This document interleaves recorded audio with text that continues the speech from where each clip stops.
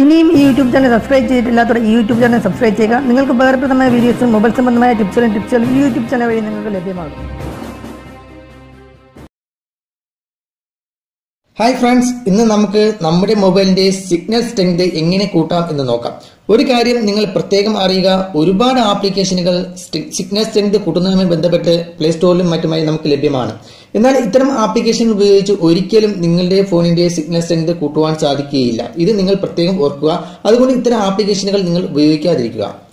Signal strength കൂട്ടുന്നതിനായിട്ട് ചില ഹാർഡ്വെയറുകൾ ഇന്ന് പല ഷോപ്പുകളിലും ലഭ്യമാണ്. എന്നാൽ ഇത്തരം ഹാർഡ്വെയറുകൾ ഉപയോഗിച്ച് നമ്മൾ സിഗ്നൽ സ്ട്രെങ്ത് കൂട്ടാൻ സാധിക്കുമെങ്കിലും നമുക്ക് മൊബൈലിലും മറ്റും യൂസ് ചെയ്ത് നമുക്കത് കുറച്ച് പ്രോബ്ലംസുകൾ ഉണ്ടാകും. കാരണം എന്ന് പറയുന്നത് നമുക്കത് കൊണ്ടു നടക്കാൻ സാധിക്കില്ല അങ്ങനെ കുറച്ച് കാര്യങ്ങളൊക്കെ ആയിരിക്കും. അതുകൊണ്ട് തന്നെ ഇപ്പോൾ അറിയുന്ന പുതിയൊരു ന്യൂസ് എന്ന് പറയുന്നത് ഇത്തരം സിഗ്നൽ ബൂസ്റ്റിംഗ് ഹാർഡ്വെയറുകൾ ഉപയോഗിക്കുന്നത് ഇപ്പോൾ നിയമവിരുദ്ധമാണ് എന്ന് കൂടി ഇപ്പോൾ പറഞ്ഞു കേൾക്കുന്നുണ്ട്. അതിന്റെ സത്യാവസ്ഥ എത്രത്തോളം ശരിയാണെന്നൊന്നും എനിക്കറിയത്തില്ല. എന്നാൽ ഇത്തരം സിഗ്നൽ ബൂസ്റ്റിംഗ് ഹാർഡ്വെയറുകൾ നമുക്ക് യൂസ് ചെയ്യുന്നത് വളരെയേറെ പ്രോബ്ലംസുകൾ ഉണ്ടാകും കാരണം നമുക്ക് കൊണ്ടു നടക്കാനൊന്നും സാധിക്കില്ലാത്തത് കൊണ്ട് തന്നെ ഇത് വളരെ പ്രായോഗികവും അല്ല. എന്നാൽ ഇന്ന് ഞാൻ പറയുന്നത് നമ്മുടെ ഫോണിന്റെ സിഗ്നൽ സ്ട്രെങ്ത് നമ്മുടെ മൊബൈലിൽ കുറയുന്നത് കുറച്ച് കാര്യങ്ങൾ കൊണ്ടാണ്. അതെങ്കിൽ എന്തെങ്കിലുമൊക്കെ പ്രോബ്ലംസുകൾ കൊണ്ടാണ് ഇത്തരം തിക്നെസ് സ്ട്രെങ്ത് നമ്മുടെ ഫോണിൽ കുറയുന്നത്. അത് ഇത്തരം പ്രോബ്ലംസുകൾ വല്ലതും ഉണ്ടെങ്കിലും ഇങ്ങനെ നമ്മുടെ ഫോണിന്റെ സിഗ്നൽ സ്ട്രെങ്ത് കുറയുന്നതുമായിട്ട് ബന്ധപ്പെട്ട് നമ്മുടെ ഫോണിൽ എന്തെങ്കിലും ഒരു പ്രോബ്ലംസുകൾ ഉണ്ടെങ്കിൽ അത് എങ്ങനെ പരിഹരിക്കാമെന്നാണ് പറഞ്ഞു തരുന്നത്. നിങ്ങൾ ഈ വീഡിയോ മുഴുവനായിട്ടും കാണുക വീഡിയോ ഇഷ്ടപ്പെട്ട ലൈക്ക് ചെയ്യുക ഷെയർ ചെയ്യുക ഞങ്ങളുടെ ചാനൽ സബ്സ്ക്രൈബ് ചെയ്യുക. സബ്സ്ക്രൈബ് ചെയ്യുക എന്ന് പറയുന്ന താഴെ കാണുന്ന ഒരു ചുവന്ന സബ്സ്ക്രൈബ് ബട്ടൺ കാണാൻ സാധിക്കും. അതിൽ ക്ലിക്ക് ചെയ്യുകയാണെങ്കിൽ ഞങ്ങളിടുന്ന വീഡിയോസുകളെല്ലാം നിങ്ങൾക്ക് ലഭ്യമാകും. അതുപോലെ തന്നെ അടുത്തുള്ള ഒരു നോട്ടിഫിക്കേഷൻ ബെൽ ചിഹ്നം കാണാൻ സാധിക്കും. അതിൽ നിങ്ങൾ ക്ലിക്ക് ചെയ്യുകയാണെങ്കിൽ ഞങ്ങളിടുന്ന വീഡിയോസുകൾ നോട്ടിഫിക്കേഷനായി തന്നെ നിങ്ങൾക്ക് ലഭ്യമാവുകയും ചെയ്യും. അപ്പോൾ നമുക്ക് വീഡിയോയിലേക്ക് കിടക്കാം. നമ്മുടെ ഫോണിന്റെ സിഗ്നൽ സ്ട്രെങ്ത് കുറയുന്നതിന്റെ കുറച്ച് കാരണങ്ങൾ. അതിലൊരു നാലഞ്ച് കാരണങ്ങളുണ്ട്. അതിന്റെ ഒന്നൊന്നായിട്ട് നമുക്ക് നോക്കാം. അപ്പോൾ നമ്മുടെ മൊബൈലിന്റെ സിഗ്നൽ സ്ട്രെങ്ത് കുറയുന്നതിനുമായി ബന്ധപ്പെട്ട് ഞാൻ ഒന്നാമതായിട്ട് കൊണ്ടുവന്നിരിക്കുന്ന കാരണം എന്ന് പറയുന്നത് നമ്മൾ എക്സ്ട്രാ യൂസ് ചെയ്യുന്ന നമ്മുടെ മൊബൈലിൽ എക്സ്ട്രാ യൂസ് ചെയ്യുന്ന back cover back case back pouch എന്നിവ. ഇത്തരം ബാക്ക് പൗച്ചുകളും ബാക്ക് കവറും കവറുമൊക്കെ നമ്മൾ യൂസ് ചെയ്യുന്നത് നമ്മുടെ മൊബൈലിന്റെ പ്രൊട്ടക്ഷന് വേണ്ടിയാണെങ്കിൽ പോലും ഇത്തരം കേസുകൾ നമ്മുടെ ഫോണിന്റെ സിഗ്നൽ സ്ട്രെങ്ത് കുറയ്ക്കുന്നതിന് വളരെയേറെ കാരണകരമാവും. അതായത് നമ്മുടെ ഫോണിന്റെ റിസീവ് ചെയ്യുന്ന നമ്മുടെ ഫോണിന്റെ സിഗ്നൽ റിസീവ് ചെയ്യുന്ന ആന്റിന നമ്മുടെ ഫോണിന്റെ ബാക്ക് സൈഡിലായിട്ടാണ് അത് നിലനിൽക്കുന്നത്. അപ്പോൾ ഇത്തരം ആന്റിന മറയ്ക്കുന്ന രീതിയിൽ നമ്മൾ ബാക്ക് കേസ് ബാക്ക് പൗച്ചൊക്കെ യൂസ് ചെയ്യുന്നത് നമ്മളുടെ മൊബൈൽ റിസീവ് ചെയ്യുന്ന സിഗ്നലിന് അത് ബാധിക്കുകയും ചെയ്യും സിഗ്നൽ സ്ട്രെങ്ത് കുറയുകയും ചെയ്യും. അപ്പോൾ പ്രധാനമായിട്ട് നിങ്ങൾ ശ്രദ്ധിക്കേണ്ട ഒരു കാര്യമെന്ന് പറയുന്നത് നിങ്ങൾ ബാക്ക് പോച്ചൊക്കെ യൂസ് ചെയ്യുന്ന സമയത്ത് നിങ്ങൾ വെന്റിലേഷൻ ഉള്ള ബാക്ക് പോച്ചുകൾ യൂസ് ചെയ്യുക. അല്ലെന്നുണ്ടെങ്കിൽ നിങ്ങളുടെ ഫോണിന്റെ ആന്റിന എവിടെയാണ് സ്ഥിതി ചെയ്യുന്നത് സ്ഥിതി ചെയ്യുന്നത്? ഏകദേശം പല മൊബൈലുകൾക്കും പല സ്ഥലങ്ങളിലായിരിക്കും ആന്റിന അവർ ഇൻസെർട്ട് ചെയ്തിരിക്കുന്നത്. അപ്പോൾ ആ ഇൻസെർട്ട് ചെയ്തിരിക്കുന്ന ഭാഗത്ത് മറയ്ക്കാത്ത രീതിയിൽ അവിടെ മറ വരാത്ത രീതിയിൽ അതായത് ബ്ലോക്ക് ആവാത്ത രീതിയിലുള്ള പോച്ചുകൾ യൂസ് ചെയ്യുകയാണെങ്കിൽ ഇത്തരം പ്രോബ്ലംസുകൾ സിഗ്നൽ സംബന്ധം സംബന്ധിച്ച് നിങ്ങൾ ബാക്ക് കവറും ബാക്ക് കേസും ഒക്കെ ഉപയോഗിക്കുന്നത് സംബന്ധിച്ചുള്ള പ്രോബ്ലംസുകൾ പരിഹരിക്കാൻ സാധിക്കും.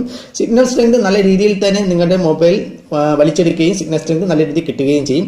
അതുകൊണ്ട് ഈ ഒരു കാര്യം നിങ്ങൾ പ്രത്യേകം ശ്രദ്ധിക്കുക. നിങ്ങൾ extra cover extra case extra പൗച്ചൊക്കെ നിങ്ങൾ യൂസ് ചെയ്യുന്ന സമയത്ത് നിങ്ങളുടെ ഫോണിന്റെ ആന്റിന മറയ്ക്കാ മറയ്ക്കുന്ന രീതിയിലുള്ള കാര്യങ്ങൾ ചെയ്യാതിരിക്കുക മറയ്ക്കാത്ത രീതിയിൽ നിങ്ങൾ അത്തരം പോച്ചുകൾ നിങ്ങൾ ഉപയോഗിക്കുകയാണ് ഏറ്റവും നല്ലത്. രണ്ടാമതായിട്ട് നിങ്ങൾ നോക്കേണ്ടത് നിങ്ങൾ മൊബൈൽ പിടിക്കുന്ന രീതി. നമ്മൾ മൊബൈൽ യൂസ് ചെയ്യുന്ന പലരും പല രീതിയിലായിരിക്കും യൂസ് ചെയ്യുന്നത്. നമ്മൾ മൊബൈൽ പിടിച്ച് യൂസ് ചെയ്യുന്നത്. അപ്പോൾ നമ്മൾ മൊബൈൽ പിടിക്കുന്ന സ്ഥലത്ത് ആന്റിന ഉണ്ടായിരിക്കാൻ പാടില്ല. അതായത് നമ്മുടെ മൊബൈലിന്റെ സിഗ്നൽ ആന്റിന നമ്മുടെ മൊബൈൽ റിസീവ് ചെയ്യുന്ന സിഗ്നൽ ആന്റിന മറയ്ക്കുന്ന രീതിയിൽ നിങ്ങളുടെ മൊബൈൽ കൈ പിടിച്ചുകൊണ്ട് നിങ്ങൾ മൊബൈൽ യൂസ് ചെയ്യാതിരിക്കുക. അങ്ങനെ മൊബൈലിന്റെ റിസീവ് ചെയ്യുന്ന ആന്റിനയുടെ ഭാഗത്താണ് നിങ്ങൾ പിടിക്കുന്നത് എങ്കിൽ നിങ്ങളുടെ ഫോണിന്റെ സിഗ്നൽ സ്ട്രെങ്ത് കുറയും. അപ്പോൾ മൂന്നാമതായിട്ട് പറയുകയാണെങ്കിൽ മൊബൈലിനും ടവറിനും ഇടയ്ക്കുള്ള തടസ്സങ്ങൾ. നമ്മൾക്ക് അറിയാമായിരിക്കും നമ്മുടെ ടവറിൽ നിന്നാണ് നമ്മുടെ മൊബൈലിന് ആവശ്യമായ സിഗ്നലുകൾ ലഭ്യമാ ലഭ്യമാകുന്നത്. അപ്പോൾ ടവറിനും മൊബൈലിനും ഇടയ്ക്ക് എന്തെങ്കിലുമൊക്കെ തടസ്സങ്ങൾ ഉണ്ട് എങ്കിൽ നമ്മുടെ ഫോണിന്റെ സിഗ്നൽ സ്ട്രെങ്ത് കുറയും. അപ്പോൾ അത് പ്രധാനമായിട്ടും നമ്മുടെ ചിലപ്പോൾ നമ്മുടെ നമ്മൾ മൊബൈൽ വീടിനകത്ത് യൂസ് ചെയ്യുന്ന സമയത്ത് നമുക്ക് സ്ട്രെങ്ത് കിട്ടാതെ വരുന്ന പല സാഹചര്യങ്ങൾ ഉണ്ടാവാം. അപ്പോൾ അത് അത്രത്തോളം തടസ്സങ്ങൾ നമ്മുടെ മൊബൈലിനും സിഗ്നൽ ടവറുമായി ബന്ധപ്പെട്ട് ഉണ്ടാവുന്നത് കൊണ്ടാണ്. അപ്പോൾ അത്തരം സന്ദർഭങ്ങൾ തുറസായ സ്ഥലങ്ങളിൽ പോയി അല്ലെങ്കിൽ നമ്മുടെ ഫോണിന്റെ ജനലിന്റെ അരികിലേക്ക് പോവുകയാണെങ്കിൽ നമ്മുടെ സിഗ്നൽ പെട്ടെന്ന് കിട്ടുകയും തടസ്സങ്ങളില്ലാതെ തന്നെ കിട്ടുകയും നല്ല രീതിയിൽ തന്നെ യൂസ് ചെയ്യാനും സാധിക്കും. അതുപോലെ തന്നെ വേറെ കാര്യങ്ങൾ പ്രത്യേകം ശ്രദ്ധിക്കേണ്ടത് ഇലക്ട്രോണിക്സ് ഉപകരണങ്ങൾ അത് അതുപോലെ തന്നെ ലോഹ വസ്തുക്കൾ ലോഹ വസ്തുക്കൾ എന്നാണെന്ന് പറയുന്നത് നിങ്ങൾക്ക് അറിയാമായിരിക്കും. ഇരുമ്പ് ചെമ്പ് തുടങ്ങിയ ലോഹ വസ്തുക്കളുള്ള സ്ഥലങ്ങളിലും ഇലക്ട്രോണിക്സ് ഉപകരണങ്ങളുള്ള സ്ഥലങ്ങളിലും നിങ്ങൾ മൊബൈൽ യൂസ് ചെയ്യാതിരിക്കാൻ പ്രത്യേകം ശ്രദ്ധിക്കുക. അങ്ങനെ യൂസ് ചെയ്യുകയാണെങ്കിൽ സിഗ്നൽ സ്ട്രെങ്ത് വളരെ മിസ്സാവും അതായത് ഡ്രോപ്പ് ആവാനുള്ള ചാൻസ് ഉണ്ട്. അത് കാരണം ഇത്തരം ലോഹ കഷ്ണങ്ങൾ ഇലക്ട്രോണിക്സ് ഉപകരണങ്ങളൊക്കെ ഇത്തരം നമുക്ക് വരുന്ന നമ്മുടെ മൊബൈലിലേക്ക് വരുന്ന സിഗ്നൽ സ്ട്രെങ്തുകൾ അവർ റിസീവ് ചെയ്യും. അതുകൊണ്ട് നമുക്ക് കിട്ടുന്ന സിഗ്നൽ സ്ട്രെങ്ത് കുറവായിരിക്കും. അതുകൊണ്ട് ഇത്തരം ഇലക്ട്രോണിക്സ് ഉപകരണങ്ങളുടെ അടുത്തും അതുപോലെ തന്നെ ലോഹ വസ്തുക്കളുടെ അടുത്തും നിങ്ങൾ മൊബൈൽ യൂസ് ചെയ്യാതിരിക്കുക. നാലാമതായിട്ട് പറയുകയാണെങ്കിൽ ബാറ്ററി ചാർജ് നല്ല ബാറ്ററി ചാർജ് ഉണ്ടെങ്കിൽ മാത്രമേ നമ്മുടെ മൊബൈൽ സിഗ്നൽ നല്ല രീതിയിൽ വലിച്ചെടുക്കുകയുള്ളൂ. അങ്ങനെ വലിച്ചെടുക്ക വലിച്ചെടുത്തെങ്കിൽ മാത്രമേ നല്ല രീതിയിൽ സിഗ്നൽ സ്ട്രെങ്ത് നമ്മുടെ മൊബൈൽ ലഭിക്കുകയും ചെയ്യുള്ളൂ.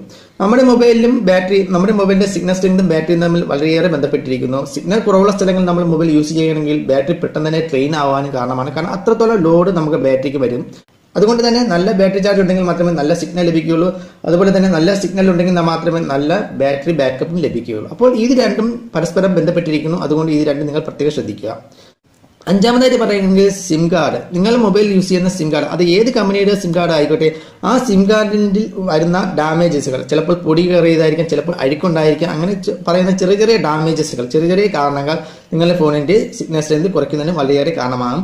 അങ്ങനെ വല്ല പ്രോബ്ലംസും നിങ്ങൾക്ക് ഫോണിൽ ഉണ്ട് എങ്കിൽ നിങ്ങൾ ജസ്റ്റ് സിം കാർഡ് എടുത്ത് ആ സ്ലോട്ടിന്റെ അവിടെ നല്ല രീതിയിൽ ക്ലീൻ ചെയ്യുക. വളരെ അതിന് ഡാമേജ് ആവാത്ത രീതിയിൽ ചെറിയ തുണികൾ ഉപയോഗിച്ചോ വല്ല മറ്റും നിങ്ങൾ ക്ലീൻ ചെയ്തിട്ട് ഇടുകയാണെങ്കിൽ ചിലപ്പോൾ ഇത്തരം അഴുക്ക് കയറിയതോ അല്ലെങ്കിൽ പൊടി കയറിയതോ ഉണ്ടാവും പൊടി കയറിയതോ ഉണ്ടാവുന്നത് മൂലം ഉണ്ടാവുന്ന സിഗ്നൽ സ്ട്രെങ്ത് പ്രോബ്ലംസുകൾ പരിഹരിക്കാൻ പരിഹരിക്കാൻ സാധിക്കും. ഇത് നിങ്ങൾ പ്രത്യേകം ശ്രദ്ധിക്കേണ്ടതാണ്.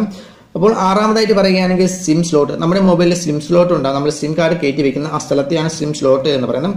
അതിലും പൊടിയോ അഴുക്കോ ഉണ്ടെങ്കിൽ ഈ പറയുന്ന സിഗ്നൽ സംബന്ധമായ പ്രോബ്ലംസുകൾ ഉണ്ടാകും. അതുകൊണ്ട് നിങ്ങൾ അതുകൂടി നിങ്ങൾ ചെക്ക് ചെയ്യുക. നിങ്ങൾ സിം സ്ലോട്ടിന് വല്ല പ്രോബ്ലംസ് അഴുക്കോ വല്ല ഉണ്ടെങ്കിൽ അതും ക്ലീൻ ചെയ്യാൻ പ്രത്യേകം മറക്കാതിരിക്കുക. അതിന്റെ നിങ്ങൾ കാണാൻ സാധിക്കും അതിൽ ചെറിയ ചെറിയ സ്ലോട്ടുകളുണ്ട് അതിലൊന്നും ഡാമേജ് ആവാത്ത രീതിയിൽ വേണം നിങ്ങൾ സിം സ്ലോട്ട് ക്ലീൻ ചെയ്യേണ്ടതായിട്ട്. അപ്പോൾ അടുത്തത് ഏഴാമതായിട്ട് പറയുകയാണെങ്കിൽ നിങ്ങളുടെ മൊബൈലിന്റെ നെറ്റ്വർക്ക് അപ്പോൾ ഫോർ ജി ഒക്കെ ഉപയോഗിക്കുന്ന വ്യക്തികളാണ് നിങ്ങളെങ്കിൽ ഫോർ ജി ഒക്കെ വളരെയേറെ കവറേജ് ഉള്ള സ്ഥലങ്ങളായിരിക്കില്ല ചില മിക്ക സ്ഥലങ്ങളും. അപ്പോൾ ഇത്രയും കവറേജ് ഇല്ലാത്ത സ്ഥലങ്ങളിലേക്ക് പോവുകയാണെങ്കിൽ നിങ്ങൾ ത്രീ ജിയിലേക്കോ ടു ജിയിലേക്കോ മാറുക. ത്രീ ജിയിലേക്കും ടു ജിയിലേക്കും ഒക്കെ മാറുകയാണെങ്കിൽ മിക്കയിടത്തൊക്കെ നല്ല നല്ല കവറേജുകൾ ഉണ്ടാവുകയും പെട്ടെന്ന് തന്നെ റിസീവ് ചെയ്യുകയും നല്ല സിഗ്നൽ സ്ട്രെങ്ത് ലഭിക്കുകയും ചെയ്യും. അപ്പോൾ നിങ്ങൾ ചെക്ക് ചെയ്യേണ്ടത് നിങ്ങൾ മൊബൈലിന്റെ പ്രിഫറൻസിൽ അതായത് network പ്രിഫറൻസിൽ three G two G four G automatic preference ആക്കുകയാണെങ്കിൽ നിങ്ങൾ സിഗ്നൽ സ്ട്രെങ്തിന്റെ അടിസ്ഥാനത്തിൽ അത് അത് ഓട്ടോമാറ്റിക്കായിട്ട് തന്നെ നിങ്ങളുടെ ബാൻഡ് മാറിക്കൊള്ളും. അത് നിങ്ങളുടെ ഫോണിന്റെ സിഗ്നൽ സ്ട്രെങ്ത് എപ്പോഴും സ്ഥായിയായിട്ട് തന്നെ നിലനിർത്താൻ സാധിക്കും. അതുകൊണ്ട് നിങ്ങൾ നെറ്റ്വർക്ക് സെലക്ട് ചെയ്യുമ്പോൾ നിങ്ങളുടെ ഫോണിന്റെ നെറ്റ്വർക്ക് പ്രിഫറൻസ് സെറ്റ് ചെയ്യുമ്പോഴത്തേക്കും ഓട്ടോമാറ്റിക് തന്നെ ഇടുവാൻ പ്രത്യേകം അങ്ങനെ ചെയ്യുകയാണെങ്കിൽ ഈ സിഗ്നൽ സ്ട്രെങ്തിന്റെ പ്രോബ്ലംസുകൾ മാറിക്കിട്ടും. ഞാൻ ഇപ്പോൾ പറഞ്ഞ കാര്യങ്ങളെല്ലാം നിങ്ങൾക്ക് നിങ്ങളുടെ മൊബൈലിൽ തന്നെ ചെക്ക് ചെയ്ത് കണ്ടുപിടിക്കാവുന്നതാണ്. എന്തെങ്കിലും പ്രോബ്ലംസ് ഉണ്ടെങ്കിൽ ഇത്തരം പ്രോബ്ലംസുകൾ ഉണ്ടെങ്കിൽ നിങ്ങൾക്ക് തന്നെ അത് റെക്ടിഫൈ ചെയ്തെടുക്കുവാനും സാധിക്കും.